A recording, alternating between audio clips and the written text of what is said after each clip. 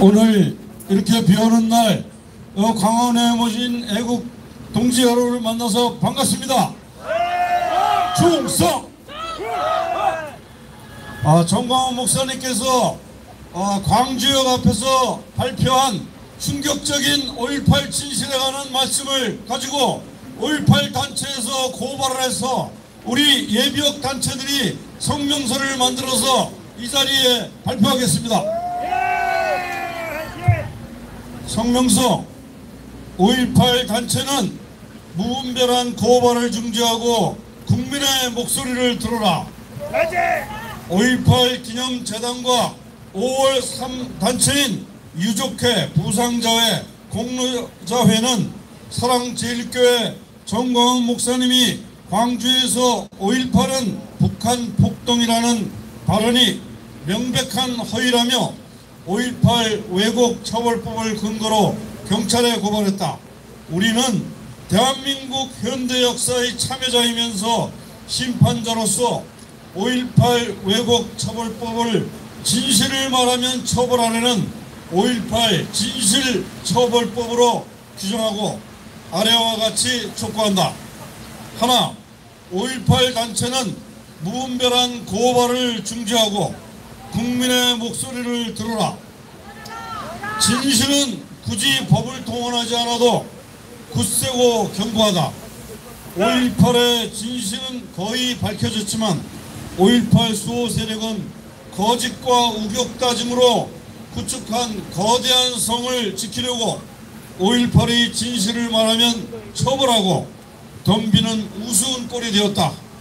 이는 거짓으로 진실을 막으려는 악행이며 왜곡된 법으로 진실을 입막하는 만행이다.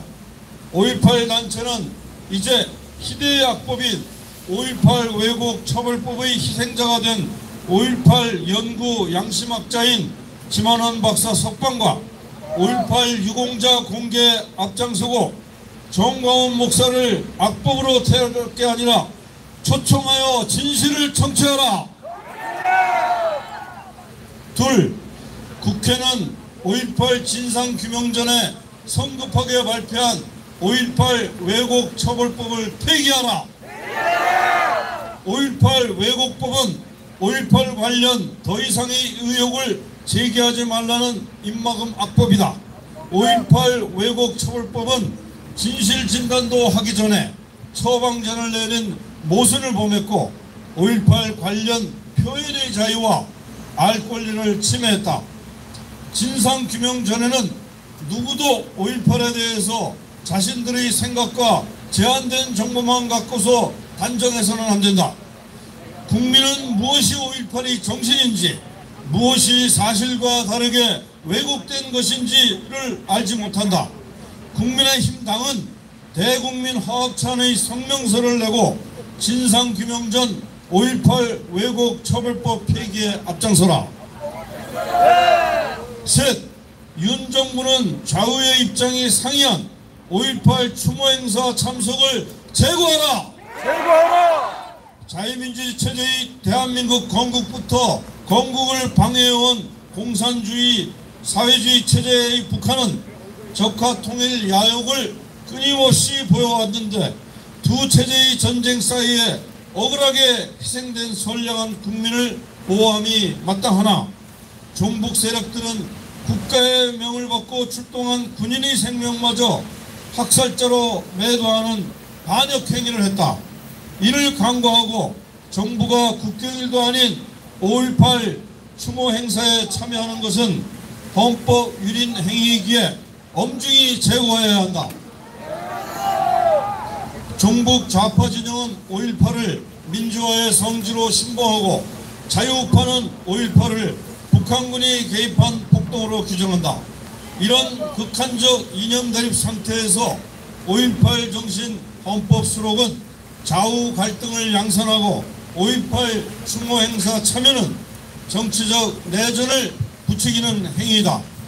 진상 규명이 없는 상태의 물리적 참배는 진실을 호도하고 좌우 갈등을 부추기며 역사의 아픔을 재생산하는 비효율적 정치행위다.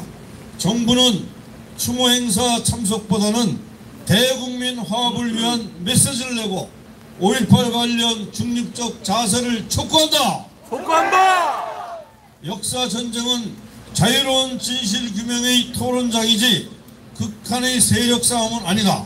우리는 750만 해외 동포를 비롯한 5,200만 국민과 함께 올해도 27인이 5.18 계엄 군경 전사자와 165분의 5.18 희생자의 명복을 빌고 5.18의 역사적 아픔을 상생 철학으로 극복하고 대동 단결의 대동 단결의 계기로 삼기를 기원한다.